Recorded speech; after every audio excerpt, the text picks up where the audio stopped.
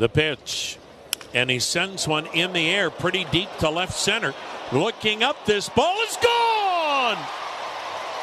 And Amed Rosario with a solo home run to left center has given Cleveland life again. That is just the second home run for Amed Rosario. So he had a two run double up the alley in left center in the third, and a solo homer over the 19 foot wall to left center here in the sixth.